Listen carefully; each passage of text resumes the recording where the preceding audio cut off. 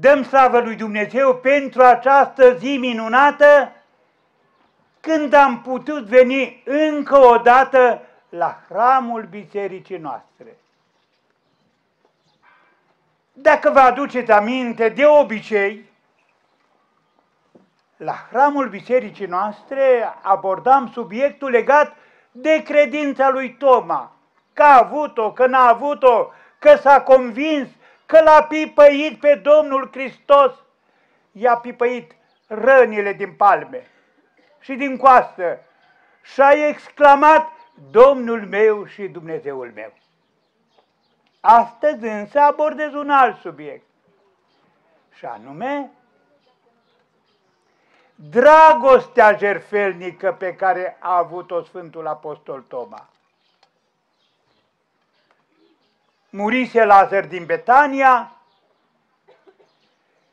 și Toma a zis către ceilalți ucenici și ați auzit să mergem și să murim și noi împreună cu el.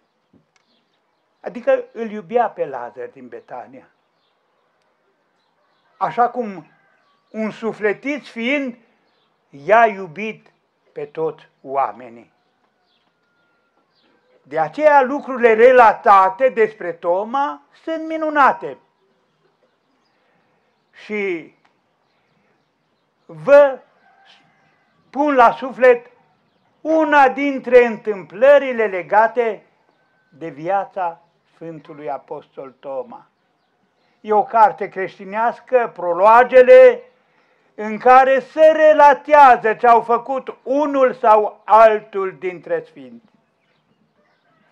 După ce Domnul Hristos s-a înălțat la cer, lui Toma i s-a încredințat misiunea de a merge să fie misionar în India.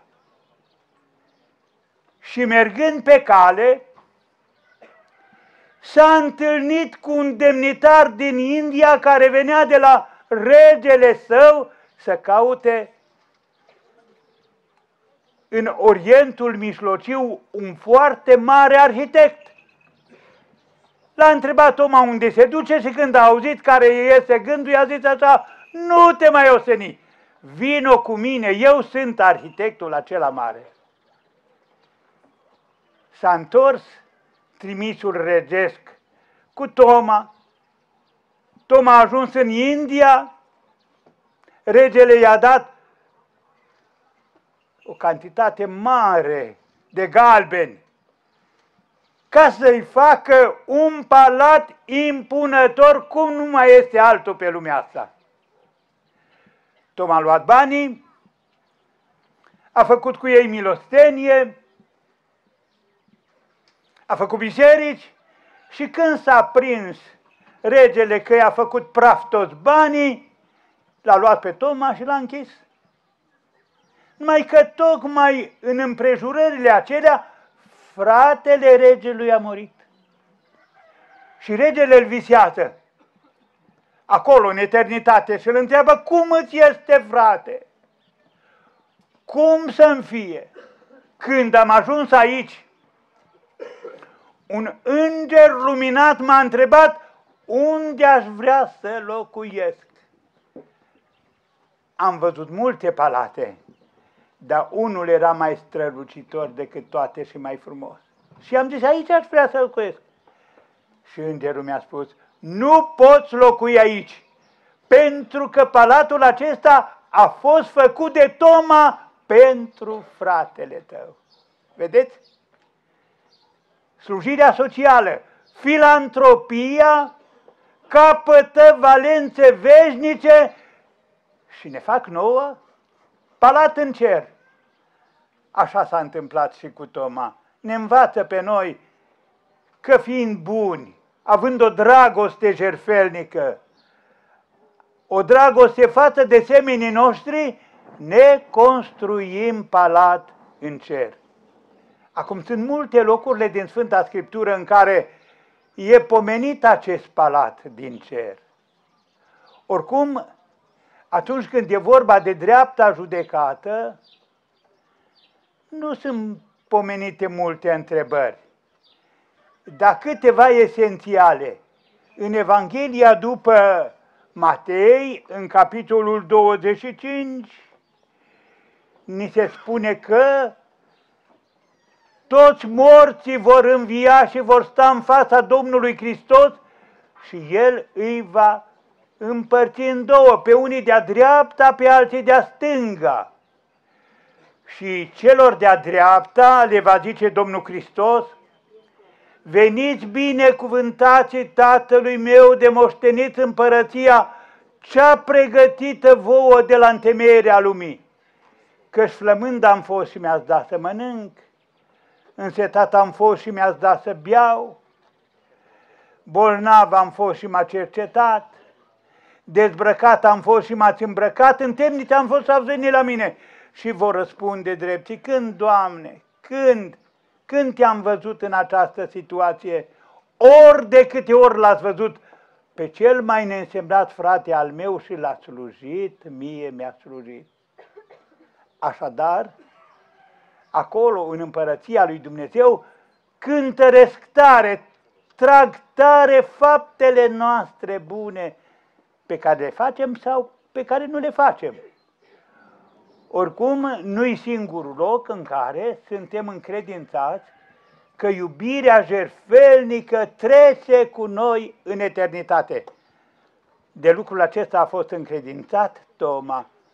Și când a murit Lazar, din dragostea mare și jerfelnică ce a avut-o față de el, știm că Lazar a fost și prietenul Domnului Hristos, a zis să mergem să murim și noi împreună cu el. Acum v-aș putea relata și alte asemenea întâmplări care ne conving pe noi că iubirea jerfelnică are mare preț în fața lui Dumnezeu. Iată vă spun o întâmplare. Un tată avea doi, doi feciori. Cel mare era însurat, cel mic nu era însurat. Tatăl a murit. Dar înainte de a muri, le-a împărțit pământul în două celor doi feciori. A venit vremea să samine grâu și au semănat amândoi grâu. A venit vremea secerișului, au secerat grâul, au făcut clăi. Ce s-a gândit cel mai mare? Eu sunt rostuit la casa mea, am copii, am nevastă bună, frate meu nu e încă însurat, are nevoie de atâtea. La miezul nopții mă voi duce și voi lua din snopii de pe clăile mele și îi voi pune pe clăile lui. Ce s-a gândit cel mic? Eu încă n-am nicio greutate. Fratele meu e însurat, are casă, are copii, are greutăți. La miezul nopții mă voi duce și voi lua din snopii de pe clăile mele și îi voi muta pe clăile lui la miezul nopții, s-au întâlnit pe hatul dintre holde, cu snopul de grâu în brață și unul și altul, și când au înțeles ce s-a întâmplat, au început să plângă și s-au îmbrățișat. Dragostea jertfelnică, dragostea jertfelnică. A trăit unii dintre dumneavoastră l-a știut, poetul Ioan Alexandru a scris frumos și a fost reprezentativ pentru Transilvania noastră. Am zis că unii ne mai aducem aminte de el, că n-a murit așa de mult, e îngropat la Nicula. El era din Topa Mică. Și a scris o poezie, anotimpurile, care sună așa. Pentru că s-a uitat cu milă la un căluț snopit în bătăi, pentru că unei bătrâne care intenționa să se arunce, să se arunce în lac fugind de la azil, i-a întins o mână de salvare. Pentru că în sanctuarul inimii sale l-a iertat pe cel mai aprig vrășmaș pentru toate acestea și mult mai mari decât acestea pe care nimeni nu le-a știut, pentru că le făptuise la nevedere, el n-a murit și nu mai doarme până la înviere. Vedeți? Cam așa stau lucrurile. Dragostea jerfelnică trece pe alte plaiuri, ne urmează și în cerul lui Dumnezeu. Acum am zis că lucrurile nu stau așa cu toți oamenii, vedeți? Noi trăim într-o lume care este tare legată de cele materiale. Trupul și banul. Trupul pentru a fi dezmerdat are nevoie de bani și de bunuri și atunci cei ce nu-și pun problema credinței trăiesc pentru trup și pentru bani. Ba și în situații limită nu se trezesc. Și în sensul acesta vă mai spun o întâmplare și voi încheia. Știți că un mare scriitor a fost Dostoevski.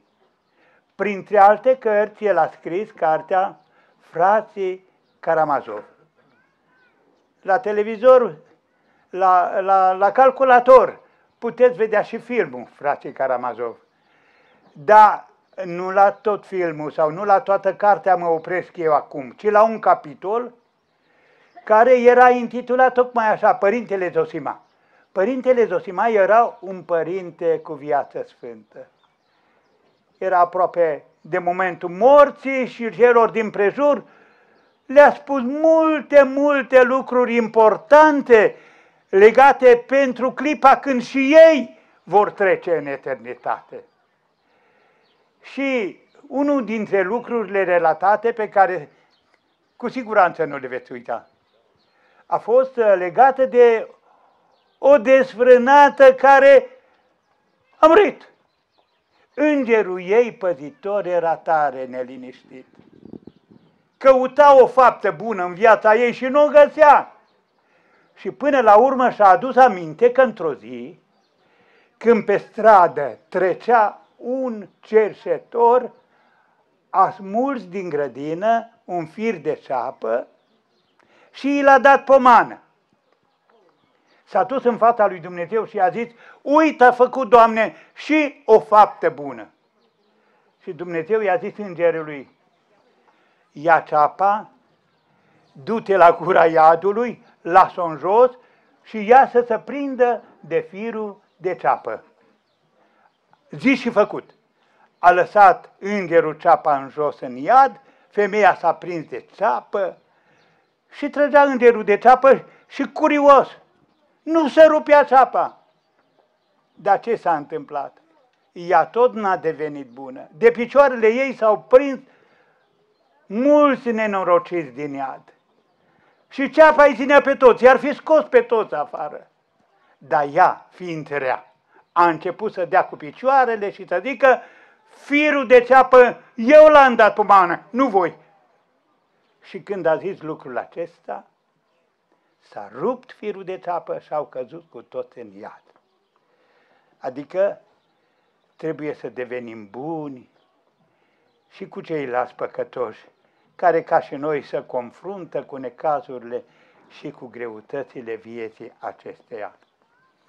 Acum am plecat de la Sfântul Toma. Pe el îl știm, cu pățania lui. În ziua învierii el n-a fost, împreună cu ceilalți ucenici și peste opt zile a fost și el. Și Domnul Hristos a venit și a zis, Tomă, ia degetul tău și îl pune în mâinile mele, în coasta mea și nu mai fi necredincios și fi credincios. Și Toma a exclamat, Domnul meu și Dumnezeul meu. Înainte vreme s-a manifestat ca un apostol plin de credință jertfelnică.